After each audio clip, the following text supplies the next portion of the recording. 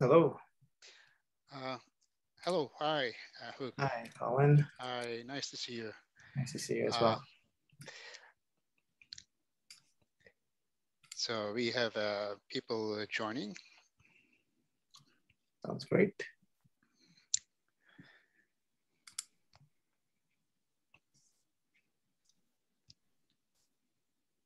I'll just mute myself. Oh, sure. Yeah, I think let's give maybe a couple of minutes for people to catch up. Uh, I think it's still they are coming. It's okay. I think a few minutes we, if we wait, right? Should I start sharing my screen? Uh, yeah, it will be good. Uh, uh, let me see whether uh, are you allowed to. Okay, let me see all panelists. All panelists. Okay, maybe yeah, you can try and see.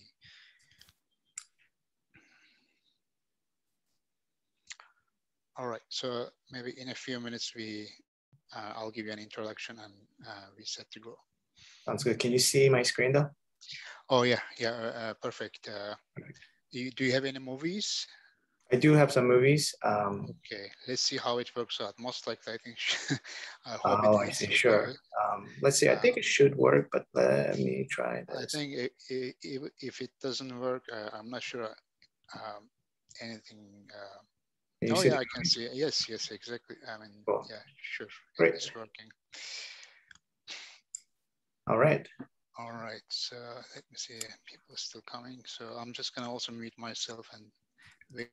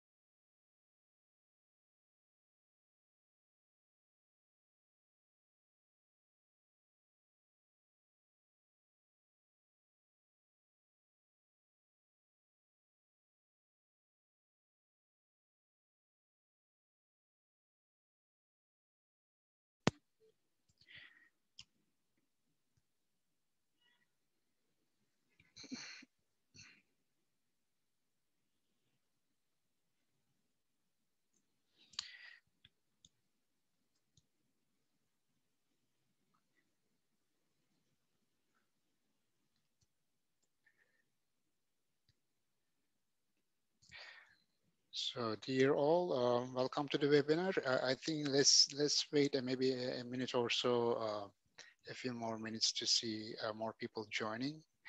Uh, actually, we expect some more people to join, uh, but let's see. I sent out the email the other day, reminder, uh, but I think people uh, may take some some time to basically connect depending on the time zone. Um, I guess it's, uh, uh, I believe it's um, in the US in the morning. Uh, it starts 10 a.m. and I'm in a different time zone. Actually, yeah, I'm, I'm supposed to be in Hong Kong time zone, but I'm traveling. So uh, I'm from a different time zone. Uh, I'm, sure you guys also in different uh, places.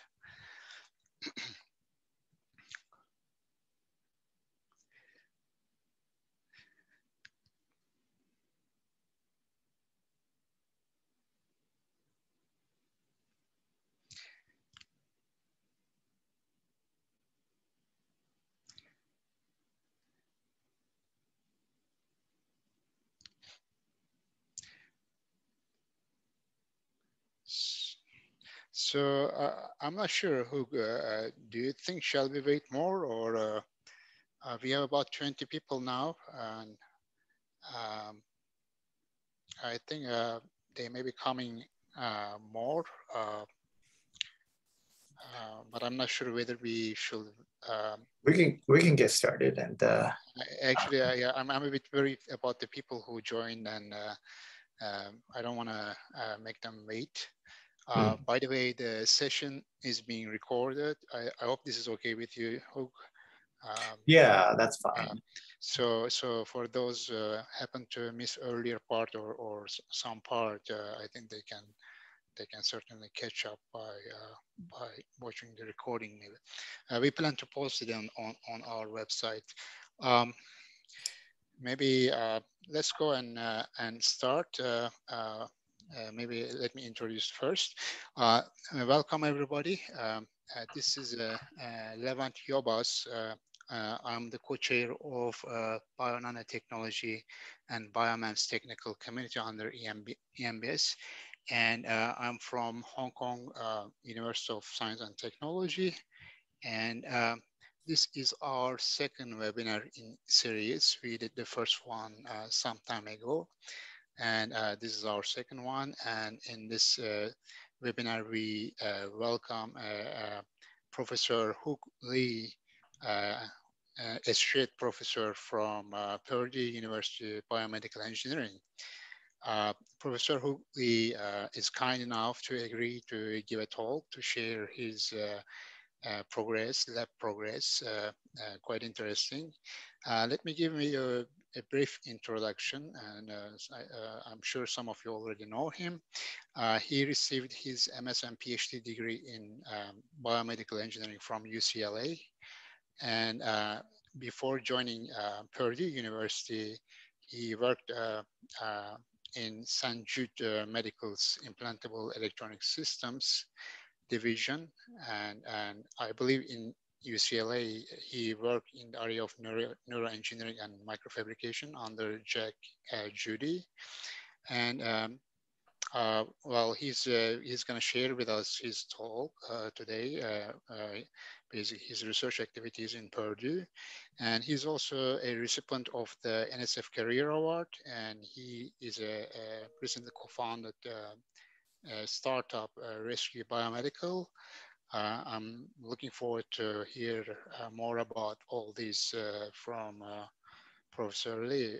without a further ado, let me give the microphone to him. And uh, Professor Lee, uh, please, uh, it's yours. All right, thank you so much, Levent. Uh, thanks uh, for the invitation to share my um, the, the, work. It's actually not my work. All the work has been done by the students, as you guys know. Um, so, and thanks to to the IEEE MBS uh, Technical Committee on uh, bionanotechnology and biomems, um, especially um, uh, Professor Thomas Lay and Professor Levent Yobas for uh, allowing me to share some of the things that we've been doing. Um, so we, we, as the title um, um, suggests, we work on implantable devices, especially uh, chronically implantable devices. Um, so I'll share some of the latest uh, uh, works um, that we've been working on to improve the reliability of these uh, multifunctional devices. Uh, again, my name is Hugh Lee. I'm an associate professor at uh, Purdue. So since, since this is more, um, oh, there you go. So since the, uh, uh, the, the audience, I figure is going to be international and you might not be familiar with where Purdue is, I thought I'd give you a brief introduction of where we are uh, and then give you a big motivation of why we are doing the things we're doing and, a few examples of how we are trying to create these more reliable devices um, for uh, chronically uh, implantable applications. So uh, here's a map of US. I hope you guys at least know Purdue is located in the United States. Um, typically, uh, there with the laser pointer? Um, typically, people know where California is on the left coast uh, and the west side. And then people know where New York is on the east coast. And then people um, typically know where Texas is down here with um, Cowboys and uh, where Florida is, where uh, Disney World is. Uh, but there's a lot of things happening in the middle of the country called the Midwest. Uh, there's a lot of great universities like Illinois, Michigan, and Purdue is uh, happened to be the flagship engineering school in the state of Indiana, uh, very well known um, for uh, our Indy 500 racing, uh, but it is also uh, a home to our Purdue University, which is uh, the home of the Boilermakers. We have some beautiful pictures of our engineering quad, the SEAL, and the Armstrong Hall, which is named after uh, um, the, the very well-known uh, astronaut Neil Armstrong, first man on the moon. Uh, most recently, I, I, know this is not the, the most important things, and but uh, if there are any students listening on this uh, this um, uh, talk and uh, really care about these kind of things, uh, the latest engineering ranking that we advertise is that we were um, we've been doing pretty well um, in the U.S. News World reports and the U.S. engineering ranking. And our program, engineering program, is uh, one of the largest uh, ones in, in the country. So if you are interested in pursuing engineering degrees, uh, please uh, look into our programs as well. So uh, where I am, which is a biomedical engineering department, it's one of the newest department of the College of Engineering. Um, uh, it's been around since um, I think about 20, 25 years ago and it's grown tremendously. Uh, there's a lot of effort, as you can imagine, especially lately with um, the ongoing pandemic, a lot of healthcare issues. Uh, uh, the, the, application of engineering uh, uh, uh, of topics for biomedical um, purposes is, has gone, grown tremendously. And in fact, this, this building, this is where we are right now. In fact, actually, I'm right talking to you from this window. Um, uh, this we've actually gone to an extension so that we this building is going out to all the way out here now. So we have we are expanding, hiring new faculty, hiring new students, postdocs, and etc. Um, to meet the growing demand of our uh, academic program. Um, Purdue uh, is a, a, very well-known uh, research university, and uh, we, uh, as such, we invested heavily. Uh, there's a $1 billion 40-acre um, Discovery Park, which are, is our um, uh, very um, focused area of interdisciplinary research and translation. Um, and crown jewel of which is the Birck Nanotechnology Center, uh, that features almost um, uh, uh, 200,000 square feet of research space and about uh, 250,000 square feet of um, clean room access for micro scale and nanoscale fabrication. In fact, sometimes it's too nice because they won't like us to uh, uh, uh, try new things. That's the complaints I hear most often from my students is that um, there's a lot of incompatibilities with the ongoing the research um, that are um, super important. Um, so for um, from, from biomedical uh, purposes, we also feature uh, the Center for Implantable Devices, of which I've uh, recently been tapped to lead for, for the next um, um, several years. And also we are home to Purdue Institute for Integrative Neuroscience, where we're trying to uh, improve our neuroengineering capacity.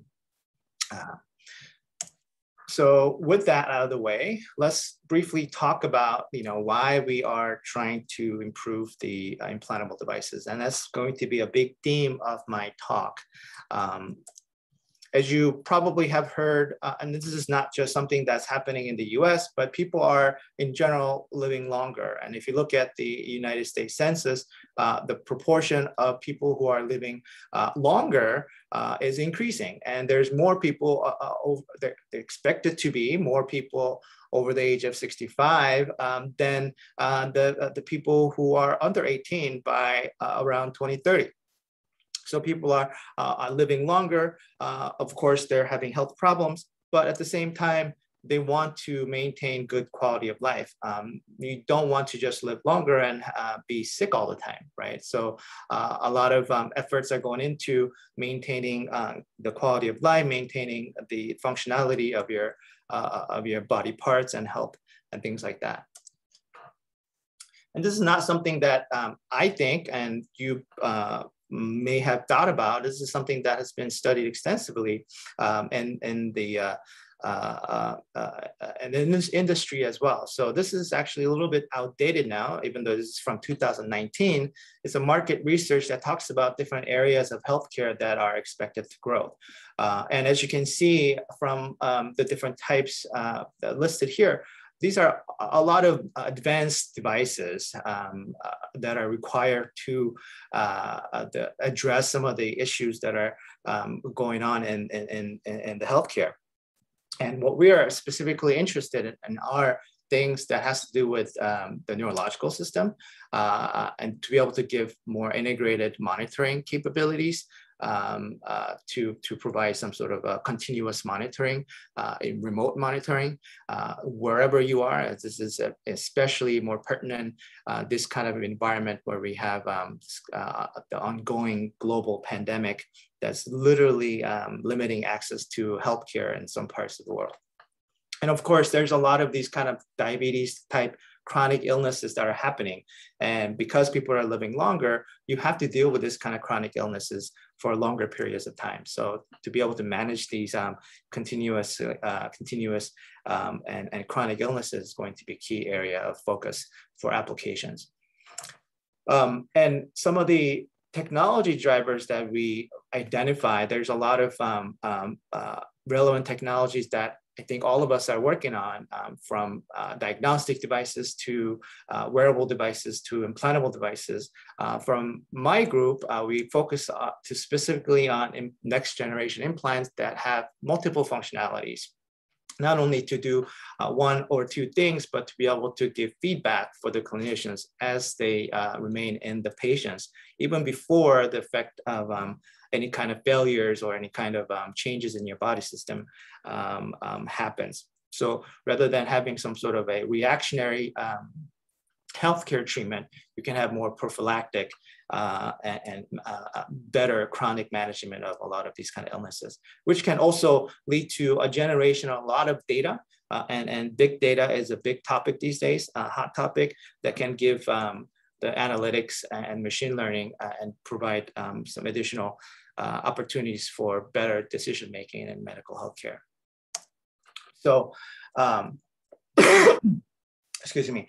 So just to be able to kind of um, go over high level what, what, what implants are used typically right now, you can think of it as four R's. I know I uh, replay, uh, I know only listed three R's here.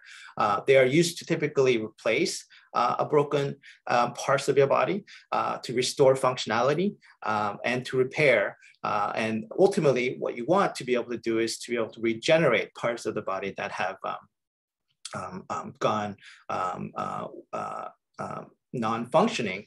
but for, for the state of the art, a lot of these implants right now, it's not really focused on regeneration.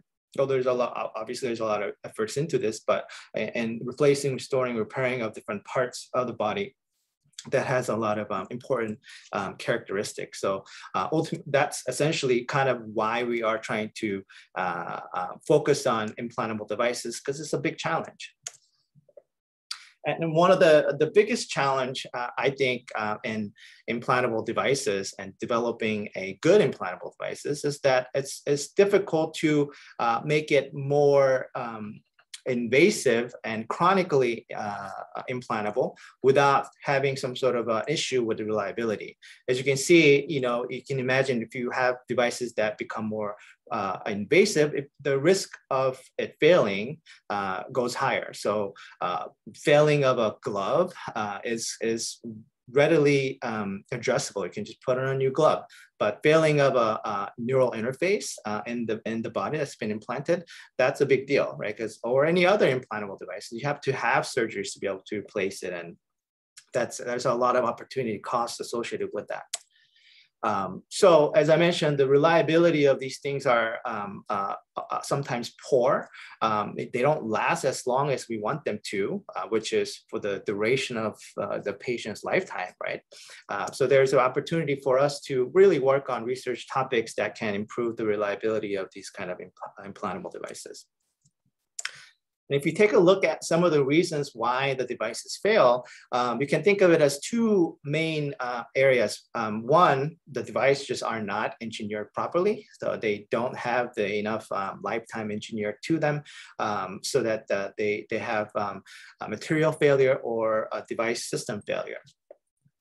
Or um, the body itself has a natural way of combating against uh, the things that you put in the body. The body doesn't care that you're trying to help it with additional um, replacement parts or sensors or um, uh, catheters and things like that. It just thinks that your your body is under attack and it, it tries to protect the rest of your body by, by uh, triggering inflammatory system which is another um, um, word for your foreign body response. The, the basically the idea is that your body, whenever it uh, experiences something foreign to that to it, uh, it tries to essentially um, eat it. Uh, but if it cannot eat it, then it tries to form a barrier around it again to protect the rest of your body from your potential uh, pathogen. So a lot of times when you have these kind of sensors and devices that you want to make sure is functioning for a long period of time, um, and they need access to the rest of your body to measure different kinds of analytes or to be able to access fluids and things like that. Um, these kind of formation of a fibrous capsule that goes around the device uh, actually physically prevents the device from functioning properly for a long period of time. And as you can see, the time scale is such that after a few months, the, the devices uh, do not work very well.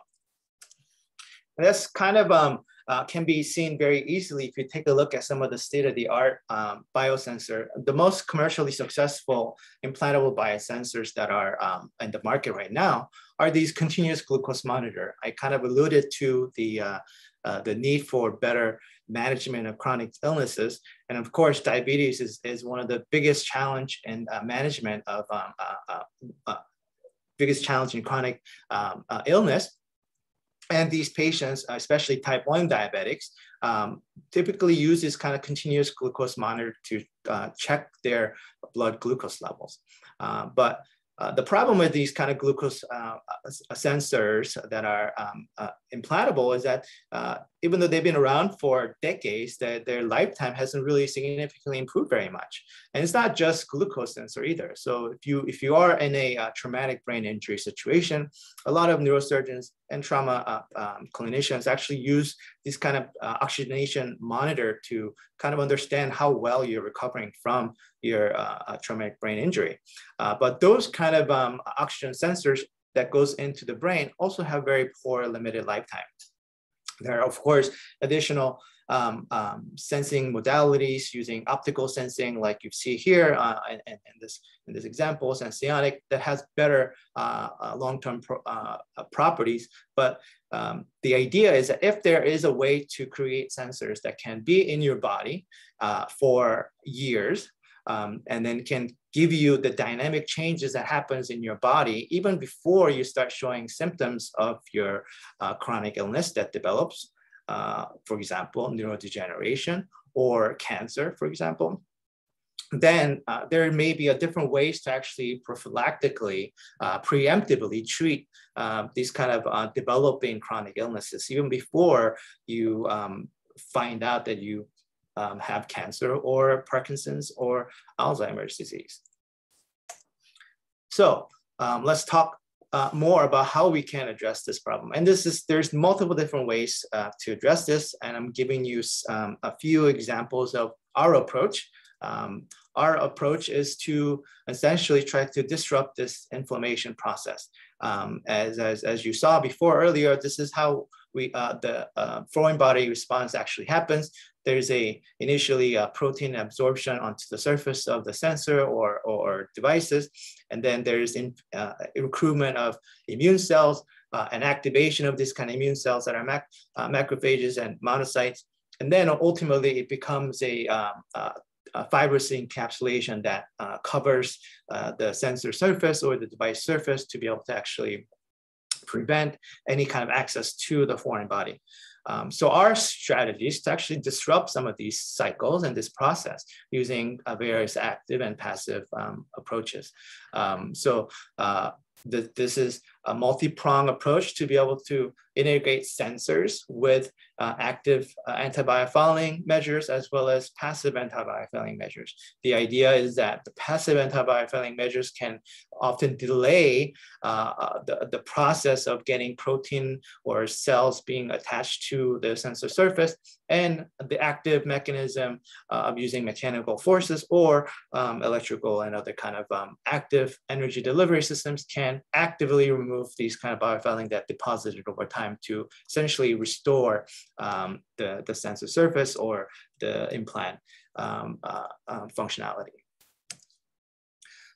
So first, let's talk about the, uh, the our approach of using magnetic actuation to achieve this anti-active uh, antibiofouling. So for those of you who don't know how a magnetic actuation works, it's very simple in concept and, and, and simplicity is something that you'll see uh, throughout the, uh, the, the, the, the, conversation I'll have, um, trying to make that as simple as possible to um, uh, accelerate potential uh, translation. So it's kind of like a compass. When you have a compass and you apply magnetic field, you can change the way it rotates uh, and, and it can do the same thing when you microfabricate um, a, a, device with the flexures with magnet on top and you apply magnetic field, you can change the way it deflects out of uh, plane. And the idea is that we can integrate sensors on top of these kind of surfaces to be able to uh, provide uh, cleaning abilities. So if you think of uh, the sensitivity of the sensor as a function of time, you know, as I mentioned to you, uh, its performance degrades over time because of um, uh, the body's um, uh, resp natural responses. And then when you activate uh, this kind of um, uh, actuation um, mechanism, then we can potentially restore the surface by cleaning it and give you that additional um, pristine measurement that you want.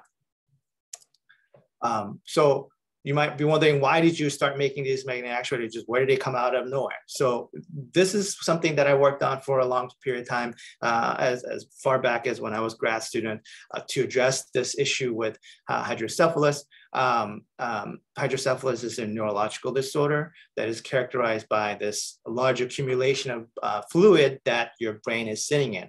Uh, and the, the, the problem with these kind of um, um, diseases, there's no cure for it, and there's only medical device uh, mediated treatment for it. So these medical devices are basically series of catheters, uh, like tubes that you put into the brain, uh, uh, into where the fluid is at. And then you try to remove the fluid and restore balance of um, the right amount of fluid in the brain. But as you can see here, um, um, it has a very high rate of failure within the first year and over the lifetime of the implant. Um, things like biofouling, um, cells and blood clots and things like that gets go gets into the catheter and it physically blocks it. So we wanted to be able to come up with um, micro device that can be integrated into these kind of catheters to be able to periodically remove it. Uh, the same kind of idea.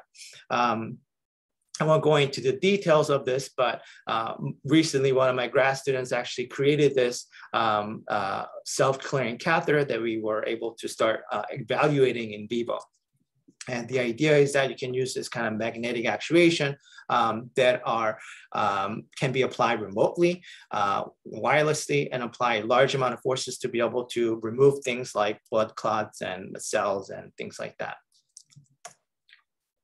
And here's some examples of different kinds of biomaterials that can be removed like cells, proteins, as well as uh, the um, blood clot, um, most recently that uh, we're still trying to get published.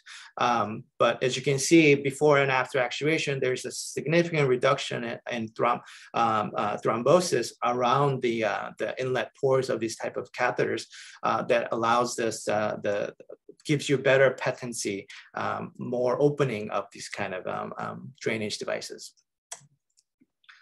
So we're gonna see another video of really significantly large blood clot um, from one of our latest uh, version of the actuators. And then um, uh, just to get a, a, slow view motion of um, how these more um, dynamic actuator actually work instead of this kind of uh, torsional ones. Uh, we put them on a um, um, serpentine flexures to get more compliance and be able to uh, uh, actuate uh, for larger um, out of plane deflection.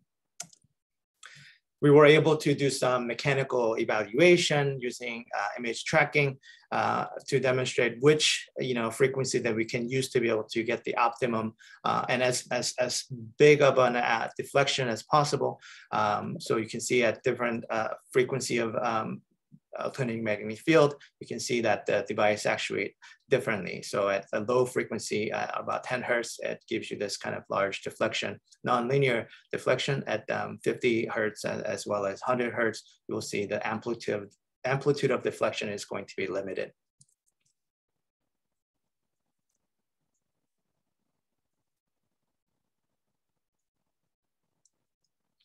All right, so we know how to make the devices. We know how to integrate the devices. Uh, we wanted to next and check and see if we can actually do some, uh, provide some beneficial effect in, in vivo in animals. So what we have done is we, uh, you know, the, the, the, my student uh, created this catheter and helped implant this into uh, the brain of a pig that is suffering from a stroke.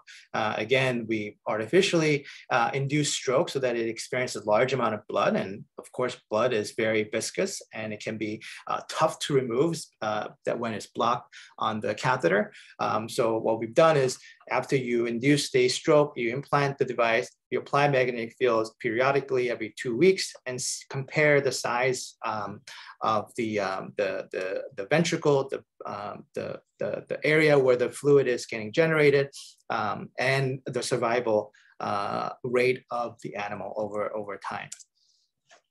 So Here's an image of what the brain looks like um, as a function of time um, when you implant it without any kind of micro devices. So this is basically uh, just regular catheter that you put in to try, help drain the, uh, uh, the stroke of blood clot.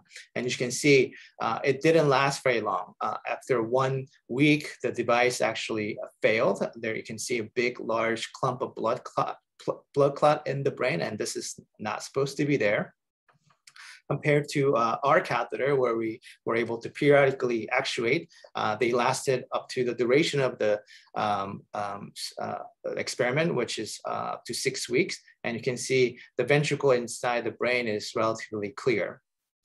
And there are significant difference in, in terms of amount of ventricle after just one week of implantation. And looking at the survival of the animals, um, about 80% of the, the animals that were treated with our smart catheters survived the entire duration of six weeks, uh, whereas you know all the ones that were implanted with just regular catheter all perished within the first week. So we, we think we show a significant improvement in terms of the way we can potentially treat uh, these kind of stroke um, uh, issues.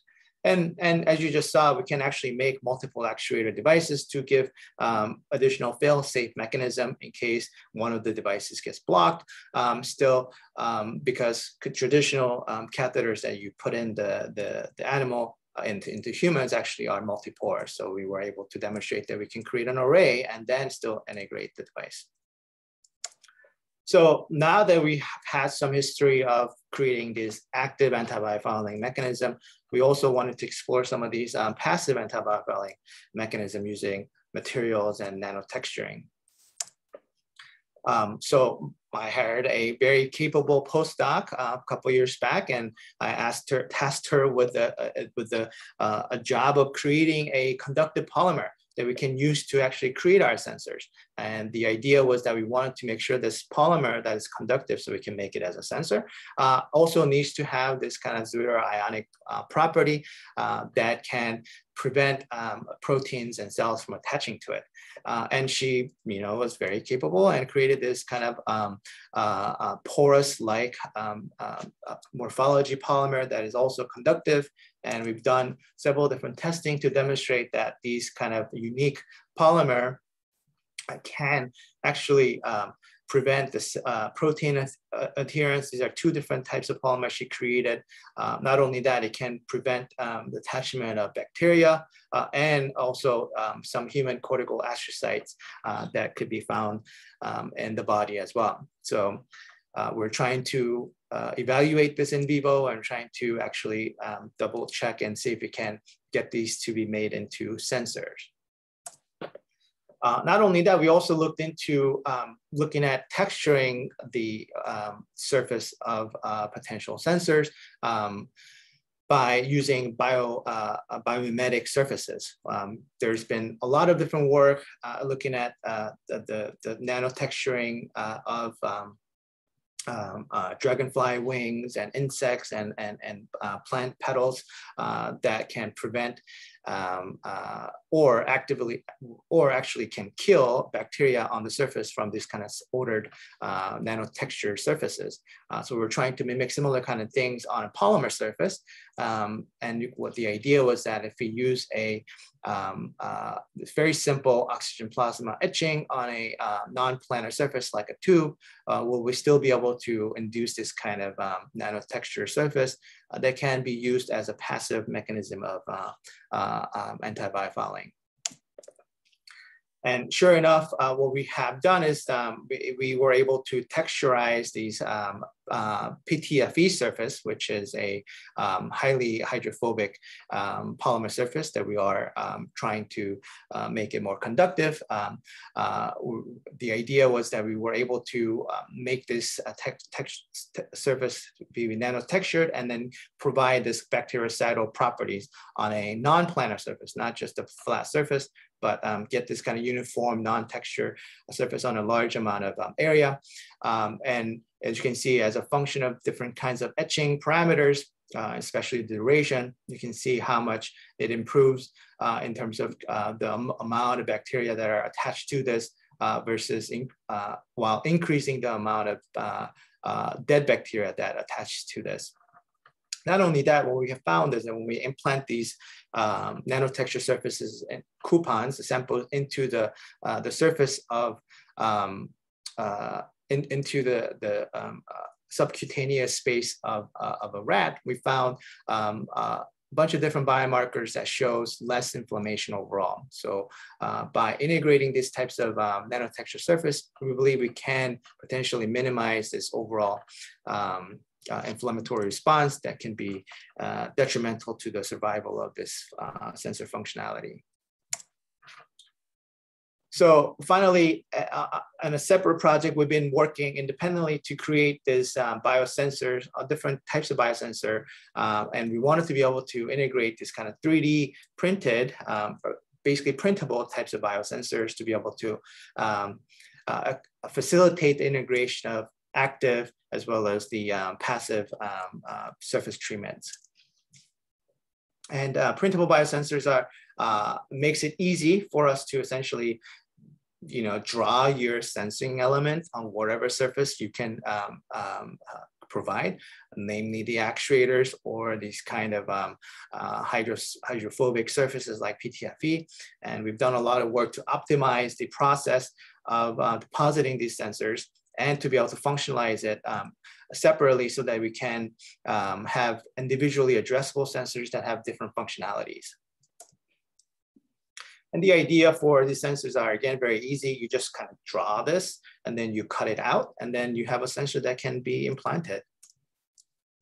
Um, we have um, history of creating a number of different types of enzymatic as well as non-enzymatic sensors uh, on flexible substrate uh, and more conventional silicon substrate um, and have shown uh, functionality not only in, in, on the benchtop, but um, on uh, cell culture. Uh, as you can see here, um, measuring glutamate uptake from an astrocyte, astrocytes uh, in a cell culture, as well as putting them into um, a spinal cord to measure um, glutamate sensitivity to uh, traumatic uh, spinal cord injury. and, and looking at the responses of um, the, the, the optical cortex slice as well as in vivo to uh, different kind of optogenetically stimulated um, um, cortex. Um, so we were able to demonstrate that these printable sensors can actually be functioning in a bunch of different uh, applications. So now that we've created this, um, um, our um, uh, capacity to create different kind of sensing elements, uh, actuation elements, and uh, nanotextures surfaces to uh, delay the biofouling. We wanted to, well, what we are working on right now to integrate all the different components to have uh, self-clearing biosensor. There's some very early work um, to uh, create a self-clearing biosensor uh, that's been microfabricated. This is a magnetic element, and this is a microfabricated sensing element to give um, uh, uh to test the, the reliability of the sensing elements. These things are still functionalized using our printing technique, but uh, we wanted to see if the sensors still maintain its functionality before and after actuation because it's causing shear around this uh, radius of this paddle. And we also wanted to see um, whether uh, the actuation time can uh, improve uh, the sensitivity again when the device is exposed to um, um, uh, uh, protein solution. So here's, this is what, um, after it's been exposed to PBS solution for a while, but as you um, actuate the devices, it can um, improve the sensitivity over time we also tried to create this um, um, uh, polymer, uh, the, the, the zwitterionic um, conductive polymer coated biosensor. So after we printed these biosensors, we actually coated this with that bespoke um, conductive polymer that my postdoc created. And then we were able to show that uh, with the um, uh, coating, uh, that we were able to maintain a sensitivity uh, against BSA versus without the coating.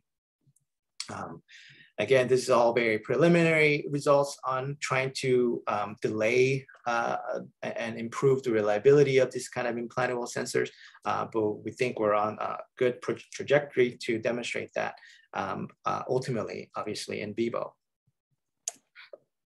So switching gears really quickly, uh, I wanna talk a little bit more about um, creating a more reliable neural, neural interface uh, because uh, as you can, you heard even just yesterday, we've heard um, uh, about the new neural interface that was able to enable a person, a locked in patient speak um, for the first time using um, um, uh, this neural interface uh, uh, devices.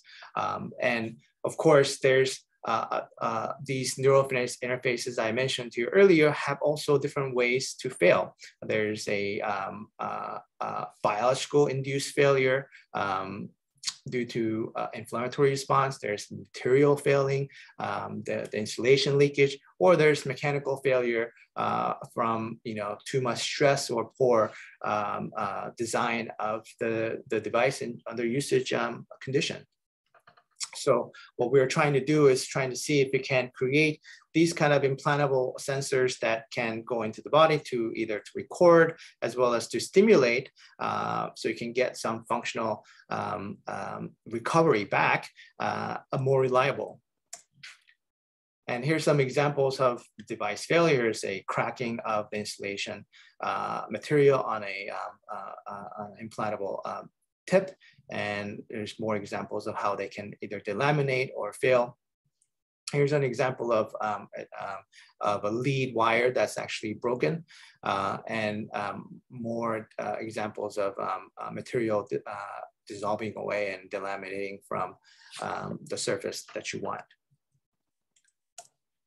This is also uh, driven um, by the, the desire to have higher density interface, right? So um, especially for certain applications like um, um optical uh, neural interfaces where you wanna have high density electrodes to be able to stimulate um, very small amount of um, neural substrate underneath to give you a better resolution of vision. So, so uh, a lot of these optical processes, processes have uh, higher number of channel counts to, counts to be able to give you additional resolution, but that means you have to pack in smaller and smaller amount of electrodes into these kind of um, areas.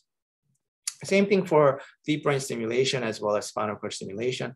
Uh, people are trying to figure out ways to minimize side effects because uh, ultimately you don't want to induce um, uh, activation of millimeter scale areas. You want to be able to pinpoint exactly what the neural substrate uh, that is responsible for your, your neurological issues. Um, so there's been a lot of effort to miniaturize and there's been a lot of effort to improve the, um, uh, uh um, the, the, the uh, efficiency of um, neurostimulation. And, and, and this is not something new that we're trying to do. People have looked at a bunch of different geometries and uh, effects to be able to see uh, what can we do to improve the performance of neurostimulation, reduce the power consumption so it can last longer. Um, so back in you know um, 2009, Warren Grill's group looked at different uh, um, geometries with uh, um, uh, different number of um, per, uh, perimeter to uh, surface area ratio. Uh, but they were able to show that you can see um, get about you know 10 to 20 percent savings in energy consumption by taking advantage of this kind of edge effect. So if we're looking at improving the amount of edge, there's not better way, not much better way than um, in, in incorporating fractals. So uh, what we've done several years back was to evaluate different geometries and see if they have a similar kind of effect, uh, but not in stainless steel, but using uh, platinum, which is more or less um, a well accepted uh, way of doing things. Um, so we designed and fabricated uh, several different um, electrodes with same electrode area, but obviously vary the footprint as well as the, um, the, the perimeter length uh, and see if we can get different results. And it goes from the smallest um, perimeter to surface area ratio of this circle to uh, the more um, um, um, complex design that are often used for stretchable electrodes. So we had a couple of different ideas in mind. But what we found was that if we were just a, a, a function of um, uh, an edge effect, then we would expect this, the high serpentine electrodes to have the best performance in terms of charge injection capability, uh, but that was not the case. This fractal design, for some reason, uh, had uh, better uh, performance, equivalent performance, uh, as um, the, the high uh, perimeter to surface area ratio one in serpentine. And of course, these one have better performance than just Euclidean circular design.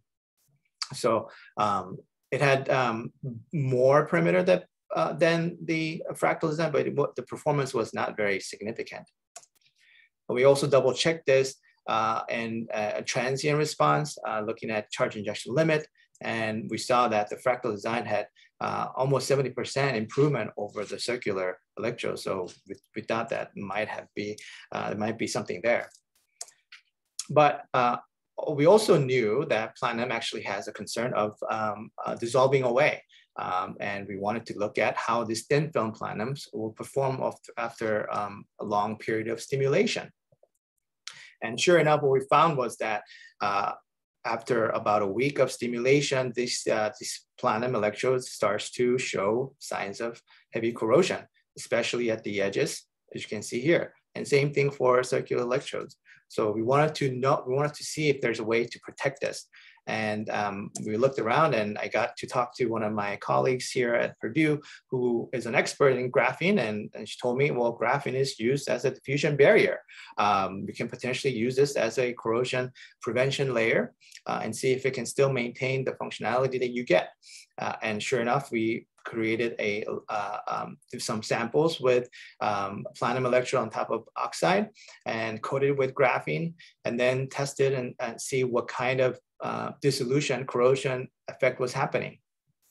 And as we expected, um, the fractal electrode that has higher edges um, had really significant dissolution from the surface over uh, just 10 hours of um, stimulation, continuous stimulation. Uh, uh, and platinum also had appreciable amount of platinum coming off of it. But once you protected it with graphene, uh, the dissolution was really um, uh, um, minimized. And this is basically translated into this um, uh, um, bar graphs as well.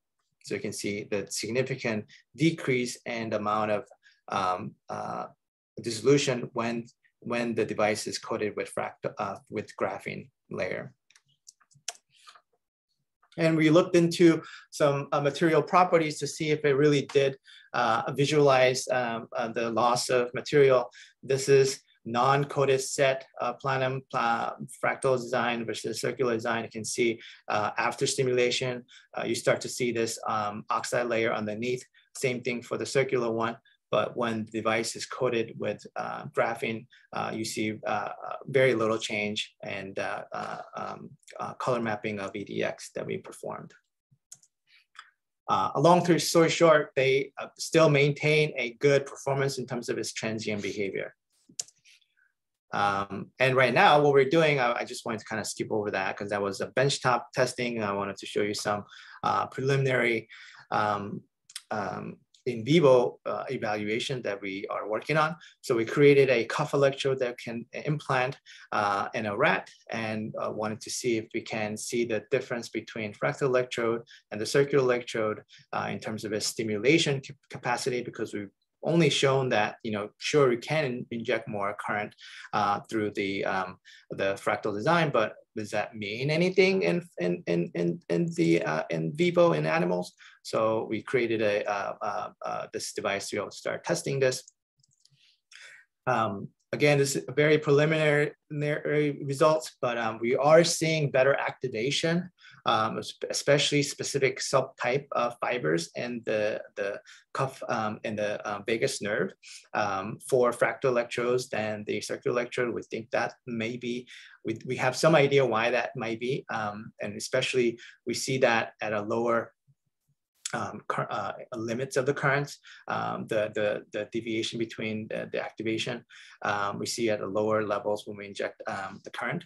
So we think that we have something here uh, with um, a way to protect the micro scale thin film uh, platinum electrodes, um, but this is an ongoing uh, work.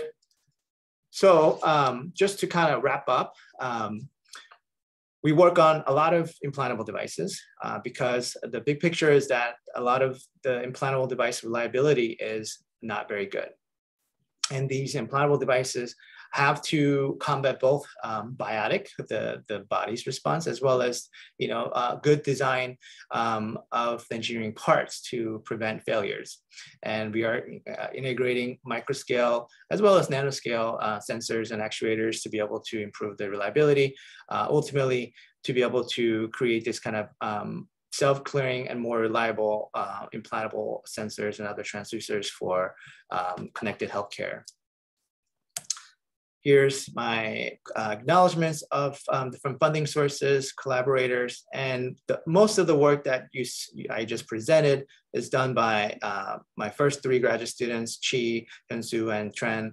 All of them are uh, now at, at, bigger and better places. Um, so thank you.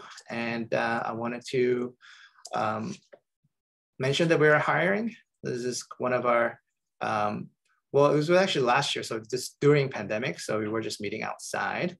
Um, and uh, that's it. And please uh, feel free to ask questions.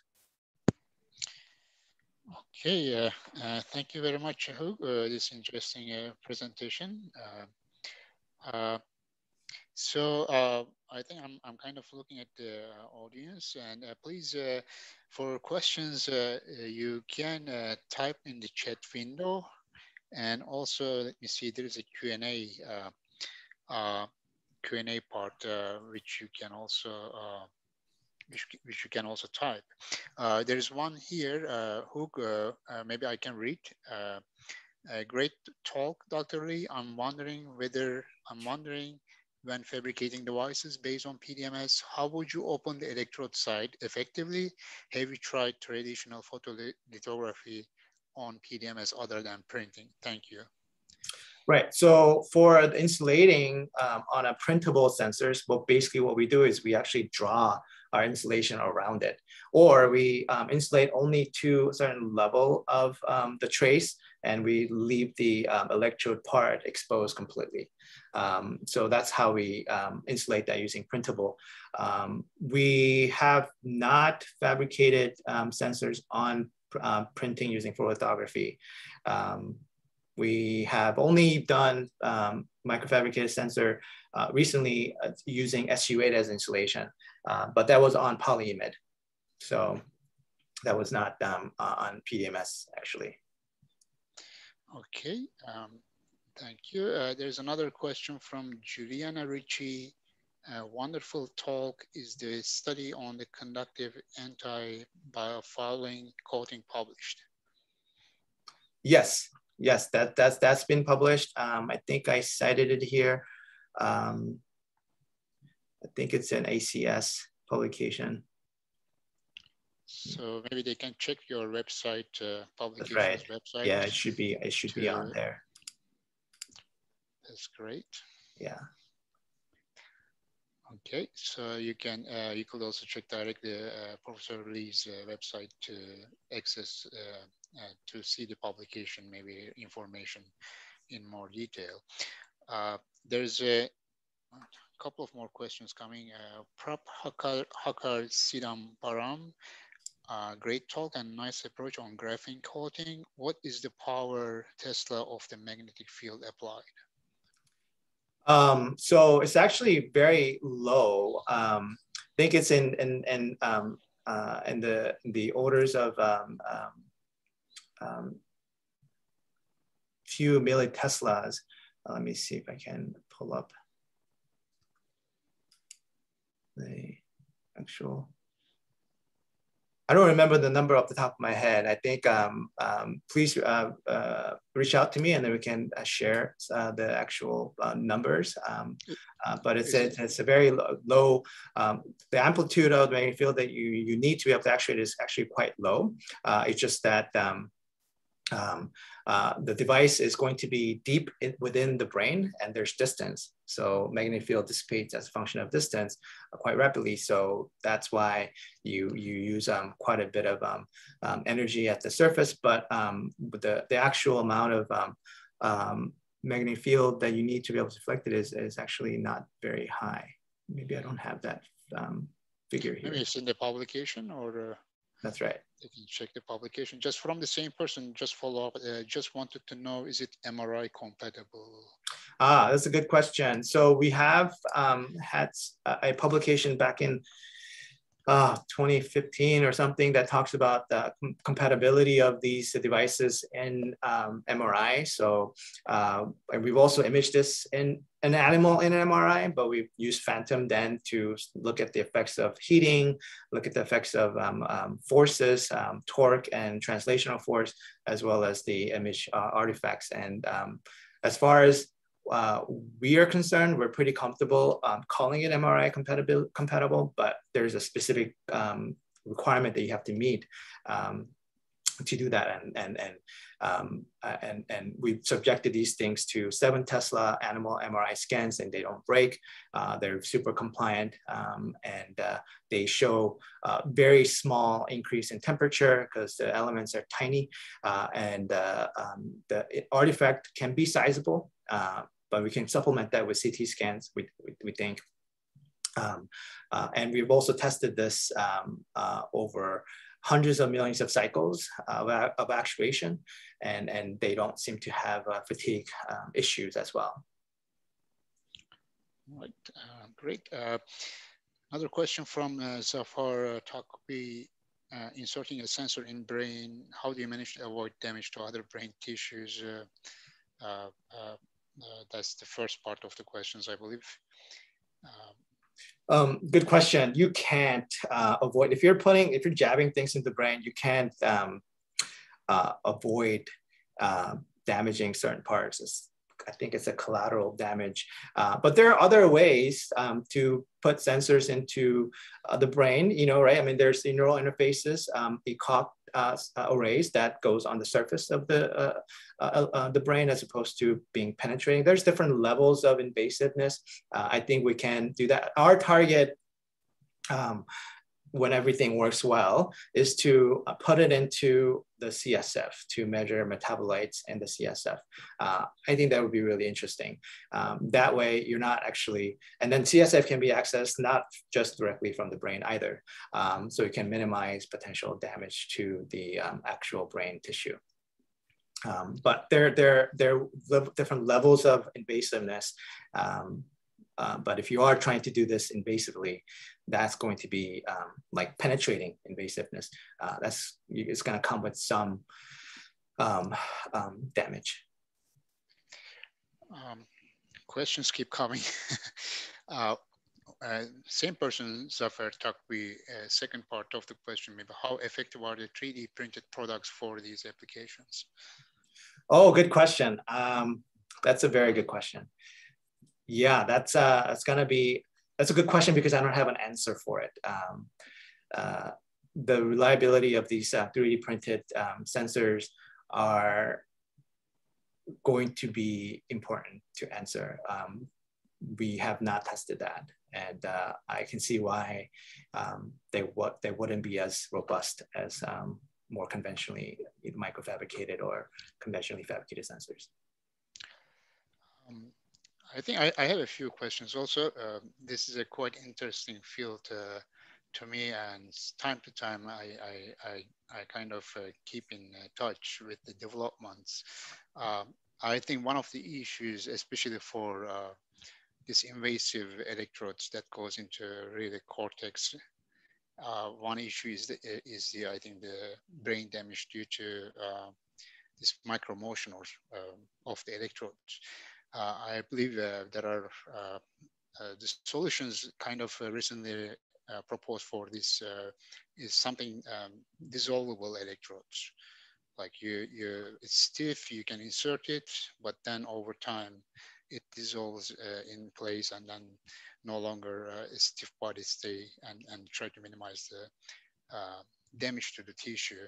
But i wonder what do you think about i mean of course this is related to reliability of such electrodes. Have you ever looked into this uh, or, or um, we, Yeah, that's a good question mm too. Um, so, so you have to understand uh, my um, um, my uh, I guess scope of knowledge and experience is very limited, so I can't really expand on uh, the merits of some of the approach. But I do also use the uh, shuttle um, on the the implanting into um, the spinal cord for our glutamate sensor that was printed.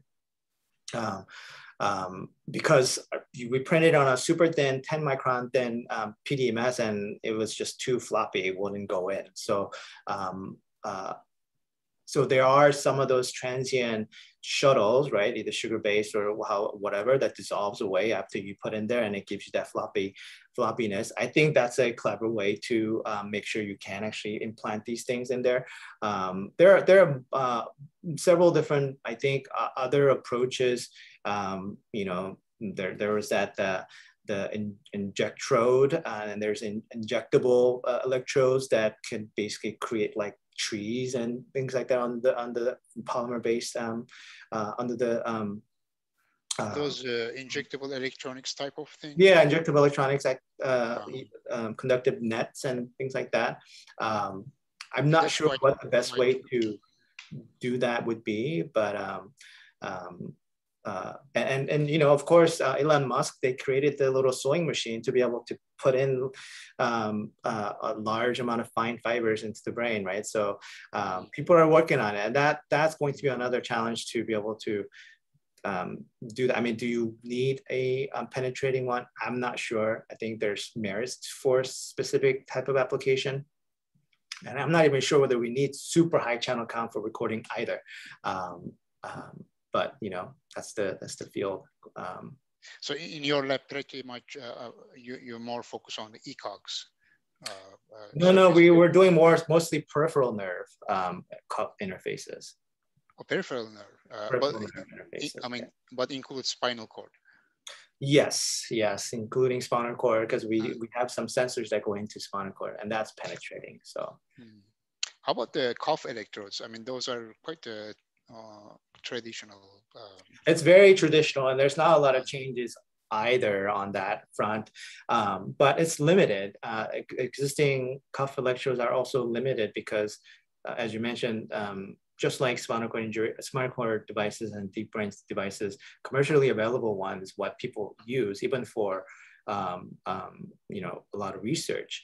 Um, so, so you know, I think there's opportunity to put more effort into refining that as well, um, which is one of the reasons why we're working in it uh, in, in this area. And you know, a lot of people work on peripheral nerve as well. You know, um, um, Ellis Meng, um, she's very active um, oh, with uh, um, um, devices, right? I used uh, to be I used to be from uh, Case Western Reserve, where they yeah. have this functional electrical stimulation. That's right. And uh, they are Dominique quite uh, strong. Yeah, Dominique yeah. Durand, right? Yeah. Uh, they're quite strong on absolutely peripheral nerve recording or excitation. Yeah. Uh, uh, there's a few more questions. Thank you for the presentation, Dr. Lee. Did you mention any modeling done for the fractal complex shape electrode design? I would imagine the sharp corners will have more overlapping voltage fields, heating the heating to target tissue compared to the round electrode. So I think it's a heat-induced uh, damage. Maybe he's concerned. Uh, Bomb Seo Ku is asking. Oh, um, I don't we've done very you know limited simulation using COMSOL just looking at the um, electric field distribution uh, but nothing like the heating uh, or anything like that we are working with a collaborator here um, um, who can who can do some uh, you know more sophisticated modeling but i'd be happy to talk offline um, uh, you know this different um, ideas about you know the mechanism because we are we're very weak on the, the understanding the mechanistic uh, reasons why this is happening. Uh, let me see. Uh, just, um, I think um, uh, Zafar Taqvi, another question. I assume we need certain specific properties of the sensing elements for different bio parameters. Do we have a list of those materials for the specific bioparameter? Yeah, so depending on whatever you're trying to measure, um, your biorecognition element is going to be changed, right? And not only that, you sometimes need basically filters to block out some of these other unwanted uh, metabolites. Um, so for, we do a lot of optimization on, you know, how much of this enzyme you put on there, how thick of um, um, this um, perm selective layer that you want to put on there, as well as designing the, uh, the electrode um, dimensions themselves, right? Um, uh, and there's been a number of great papers that talks about physics of um, um, uh, uh, sensor constructions and its performance, especially related to the, uh, the timing, uh, the temporal response.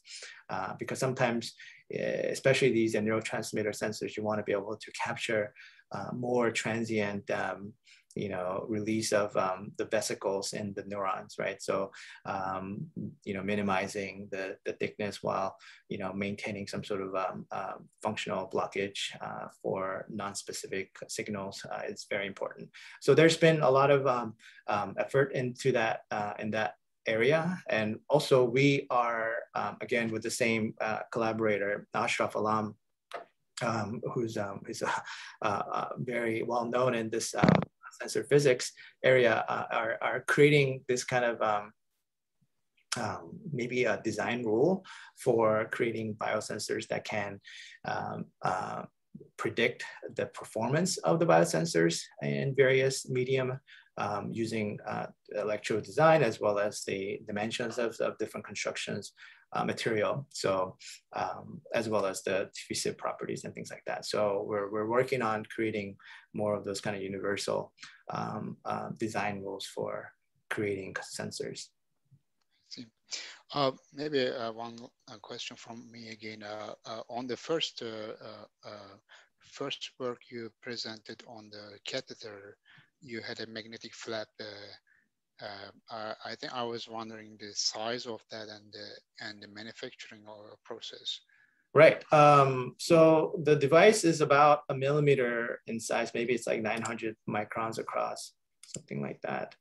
Um, so this is thin film micro uh, machining. Um, this is polyimide, and this is um, uh, nickel that's been electroplated.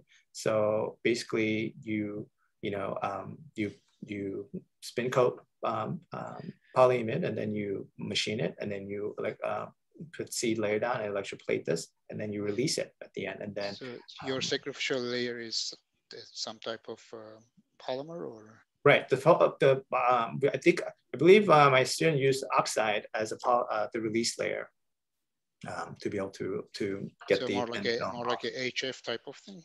That's right. You can use um, buffered oxide etchant uh, or HF um, to be able to do that. I see. And then you know this is a very like thin um, sheet, and we just roll it, and we you know put, put plug it into the catheter I see. So uh, this is uh, not a PDMS, of course, right? Polyimide, not PDMS. Uh, this is uh, this is polyimide. Uh, have you considered using, uh, I mean, PDMS here because you can you can dope the PDMS with some magnetic particles. That's very true. Um, is there any concern on that on, on using that way or? Uh, maybe there's a possibility, um, but the, the amount of polyimide, uh, amount of particles that you will need to be able to get this, because right later on, the, the these, these, these newer devices that we use to remove um, um, uh, blood clots, they're actually quite thick. They're like in the orders of um, hundreds of microns. So uh, in order for us to get that kind of force to be able to remove blood clots. So I don't think we can do that with just in, impregnating PDMS with um, uh, magnetic nanoparticles. And also in terms of the uh, this failure of the PDMS, is it a uh, is it a long term material whether you can rely on it? That's right.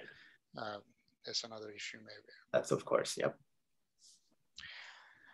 Okay. Uh, let me check one more time. Uh, uh, to questions. If I believe uh, we pretty much uh, cover all these questions. Again, the audience, uh, um, any questions, further follow-up?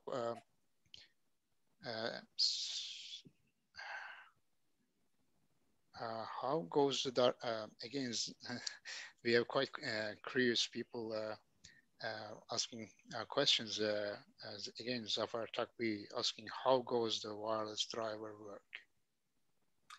Wireless driver, um, I don't have a picture of it. It's, oh, I do have a picture of, of something. We, we basically couple um, um, um, uh, uh, uh, um, a signal generator with an amplifier to drive a um, just a simple electromagnetic coil that we have. And this is basically cooled with water um, so that it you know prevents overheating. And then we just put it right over the, the head of um, the, the animal to be able to apply the magnetic field. See. Okay, any uh, further questions? I guess uh, uh, um, in terms of time, we are uh, quite a bit now uh, over hour. Uh, so I would say that uh, uh, you are always welcome to contact uh, Professor Lee um, uh, Purdue University by email. And if you are students who looking for a positions, of course, as Professor Lee suggested, they have some openings. You can you can approach him. Absolutely. Um, uh, uh, so with that, I think let's give a virtual applause to Professor Lee, thanking him for uh, coming and uh, uh, sharing um, his this exciting research with us.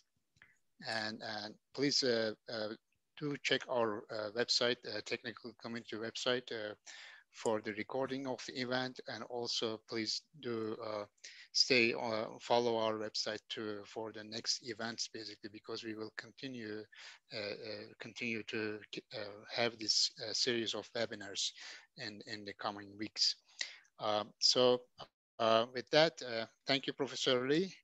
Uh, so I'd like to I'd like to thank everybody attending the attending our talk. and with that, I think I I say goodbye to all. and, and th thank you, Professor Lee. Thank you so much. Bye-bye. Bye.